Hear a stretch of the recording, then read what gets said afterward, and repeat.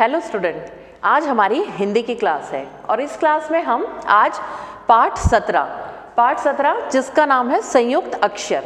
आपको मैं संयुक्त अक्षर क्या होते हैं, उन्हें कैसे लिखा जाता है, इस वीडियो में ये सब चीज़ आपको पढ़ाऊँगी भी और लिखना भी सिखाऊँगी। तो चलिए हम लोग स्टार्ट करते हैं।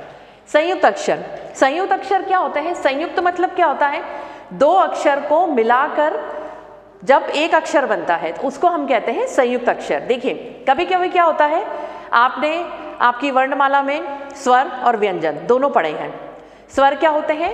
अ, छोटा अनार से लेकर अह खाली तक, और व्यंजन क, कबूतर से लेकर शत्रज्ञ यहाँ तक। तो स्टूडेंट जब दो व्यंजन व्यंजन जो क, कबूतर से स्टार्ट होते हैं तो दो व्यंजन मिलकर अपना अपना रूप समाप्त करके एक नए शब्द का निर्माण करते हैं। तो उसको क्या कहा जाता है, एक नया रूप रहता है उसका। उसे हम कहते हैं संयुक्त अक्षर। दो व्यंजन मिलकर एक नया रूप ले लेते हैं। उसे कहते हैं संयुक्त अक्षर। तो संयुक्त अक्षर कैसे बनते हैं? देखिए, मैं आपको बताती हूँ। हमने कहा दो व्यंजन लेकर। तो सबसे पहले हम क्या लिखेंगे? क। ये क्या है? व्यंजन है। क, कबूतर का। एक अक्षर है, ये व्यंजन में आता है। तो क उसमें आप छोटा सा इस तरह से हलंत लगा दीजिए नीचे। और उसके बाद प्लस, आप प्लस का साइन लगाएँगे। प्लस का साइन और षटकोण का, क प्लस श षटकोण का। अब देखिए, यहाँ एक संयुक्त अक्षर बनेगा।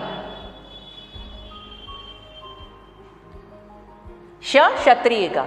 आपने ये पढ़ा होगा, श क्षत्रिय का अक्षर। क्षत्रिय का क्षमा और बहुत सारे इससे एक नए नए शब्द बनते हैं तो क्षमा। क्षमा के लिए आपको इसको यूज़ करना पड़ेगा इस अक्षर को। अब ये अक्षर बनता कैसे है? क प्लस षटकोण का। इन दोनों को जब आपस में मिलाकर लिख दिया जाता है तो ये एक नया रूप ले लेता है, जो कि क्षत्रिय का। तो स्टूडेंट आपको मैंने बता दिया कि क्षत्रिय का कैसे बनता है, देखिए। अब हम इससे एक शब्द भी बना देते हैं। क्षमा। आ गया समझ में आपको संयुक्त अक्षर क्या होते हैं? अब मैं आपको दूसरा बताती हूँ। त तराजू का। त तराजू का, नीचे हमने हलंत लगाया, प्लस का साइन लगाया, र। त प्लस र र रस्सी का। अब ये दोनों को मिलाकर कौन सा संयुक्त अक्षर बनेगा? त्र त्रिशूल का त्र त्रिशूल का। देखिए, ये बन गया हमारा त्र त्रिशूल का। अब इससे आपको एक शब्द बनाना बताती हूँ मैं।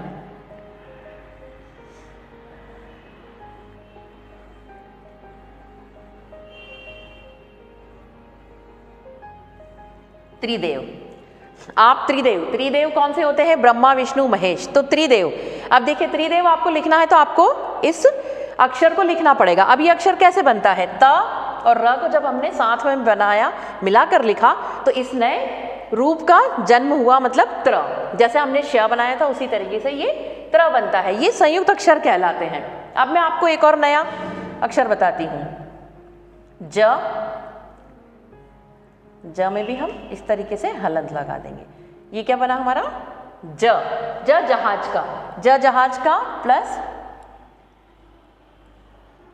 ये अक्षर पढ़ा है आपने?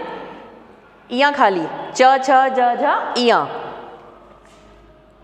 तो ये क्या बन जाएगा देखिए।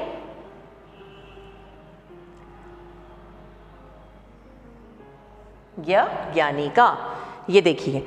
ज प्लस इया खाली। तो ये बन गया हमारा ज्ञ ज्ञानी।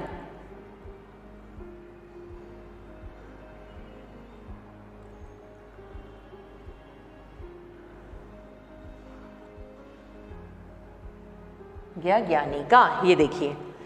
अब संयुक्त अक्षर मैंने आपको तीन बता दिए। क्ष, त्र और ज्ञ शत्रज्ञ जब हम वर्णमाला पढ़ते हैं तो ये तीनों अक्षर हमारे संयुक्त अक्षर में आते हैं। शत्रज्ञ ये बनते कैसे हैं? क प्लस श क्ष बन गया। त प्लस र, त्र।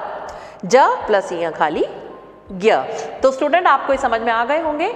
आप इनको अपनी बुक में इसी तरीके से पढ़िए। आपकी बुक में पाठ सत्रह, जो संयुक्त अक्षर नाम का पार्ट है। उसमें ये सब आपको इस डिटेल में दिए गए हैं तो आपको इजीली समझ में आ जाएँगे। Thank you student